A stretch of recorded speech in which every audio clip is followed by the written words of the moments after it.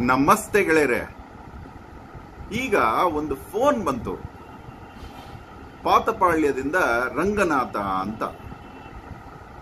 ಆ ಹುಡುಗ ತುಂಬಾ ಪ್ರೀತಿಯಿಂದ ಮಾತಾಡ್ದ, ಏನ್ ಗುರುಗಳೇ ಅಂದೆ? ಗುರುಗಳೇ ಅಂತ ಹೇಳಿದ್ರೆ ಮಾತಾಡೋದಿಲ್ವೋ? ಅವ್ರ ಹತ್ರ ಅಂತ ಕರಿ ಅಂತ ಹೇಳಿದೆ. ಇಲ್ಲ ಅಣ್ಣ ಹಂಗ್ ಅನ್ಬೇಡಿ ಅಂತ ಹೇಳ್ದ, ಅದೆಲ್ಲ ಇರ್ಲಿ.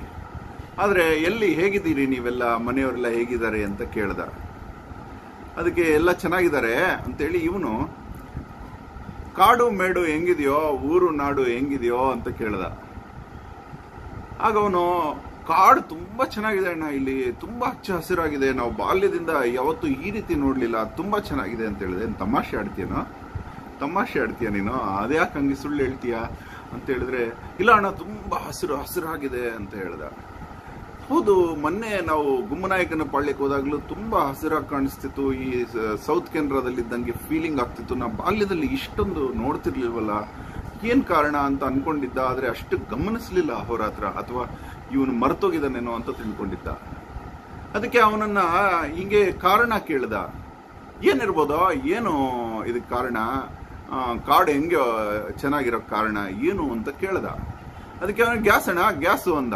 ಏನು ಗ್ಯಾಸು ಗ್ಯಾಸ್ ಏನು ಕಾಡೇನು ಹುಚ್ಚಿಡಿದ್ಯಾ ನಿನಗೆ ಅಂತ ಕೇ ಇವನಂದ ಇಲ್ಲ ಅಣ್ಣ ಫ್ರೀ ಗ್ಯಾಸು ಫ್ರೀ ಗ್ಯಾಸು ಅಂತ ಹೇಳ್ದ. ಫ್ರೀ ಗ್ಯಾಸ್ ತಮಾಷೆ ಮಾಡ್ಬೇಡ ಸೀರಿಯಸ್ ಆಗಿ ಮಾತಾಡು. ಕಾಡ್ಗೂ ಗ್ಯಾಸ್ಗೂ ಏನು ಸಂಬಂಧ?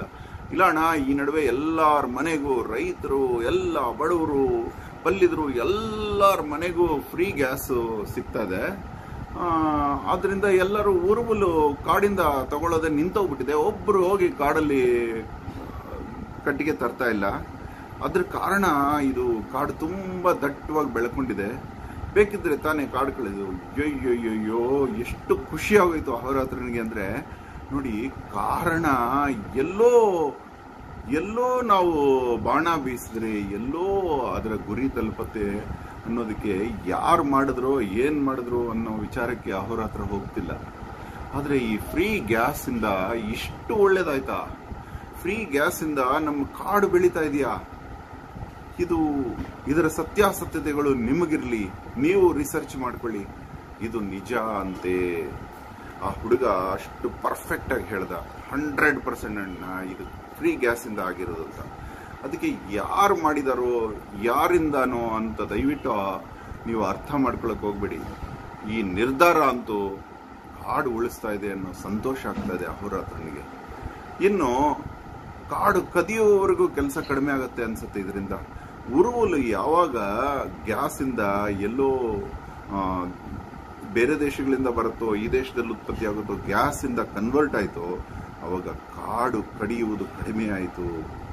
ಹೀಗಾದರೂ ಕಾಡು ಬೆಳೀತಾ ಇದೆಯಲ್ಲ? ಕಾಡು ಬೆಳೀತಾ ಇದೆ ಅಂದ್ರೆ ನಾಡು ಬೆಳೆಯುವುದು ಶತಸಿದ್ಧ. ಜನ ಬದಲಾವಣೆ ಆಗ್ತಾರೆ. ಸ್ಲೋ ಆಗಿ ಬದಲಾವಣೆಗಳು ನಮ್ಮ ದೇಶದಲ್ಲಿ ನಡೀತಾ ಇದೆ ಅನ್ನೋ ಕೋಪ ಕೂತ್ಕೋತಾ ಇದೆ ಅಹೋರಾತ್ರನಿಗೆ ಈ ಸಂತೋಷದ ಸಿಹಿ ಸುದ್ದಿ ನಿಮ್ಮ ಹತ್ರ ಹಂಚ್ಕೋಬೇಕು ಅಂತ ಅನ್ನಿಸ್ತು. ನೀವು ಇನ್ಮೇಲೆ ಗಮನ ಕೊಡಿ. ನಿಜವಾಗ್ಲೂ ಕಾಡು ಮೊದಲಿಗಿಂತ ಚೆನ್ನಾಗಿ ಬೆಳೀತಾ ಇದೆಯಾ? ಈ ಉರುವಲು ತರೋರು ಕಡಿಮೆ ಆಗಿದಾರ? ಇದಕ್ಕೆ ಫ್ರೀ ಗ್ಯಾಸ್ ಕಾರಣನ? ಅನ್ನೋ ಈ ಬೀಜ ಬಿತ್ತಲ್ಲ ಇದರಿಂದ ದೇಶ ಎಚ್ಚೆತ್ತರೆ ತುಂಬಾ ಒಳ್ಳೆಯದು ಕೆಲವು ಕಾರಣಗಳು ಏನೋ ಕಾರಣಕ್ಕೆ ಶುರು ಮಾಡಿರ್ತಾರೆ. ಮೋಸ್ಟ್ಲಿ ಶುರು ಮಾಡಿದವ್ರಿಗೆ ಫ್ರೀ ಗ್ಯಾಸ್ ಕೊಟ್ಟವ್ರಿಗೂ ಇದ್ರ ಐಡಿಯಾ ಇರುತ್ತೋ ಇಲ್ವೋ ಅಥವಾ ರಿಸರ್ಚ್ ಟೀಮ್ಗೆ ಇಷ್ಟು ನಾಲೆಡ್ಜ್ ಇರುತ್ತೆ. ಅದು ಮಾಡಿದ್ದಾರೆ ಆದರೆ ಅದರ ಪರಿಣಾಮ ಇವತ್ತು ನಮ್ಮ ಕಾಡು ಉಳಿತಲ್ಲ. ಧನ್ಯವಾದ ಅಹೋರಾತ್ರ.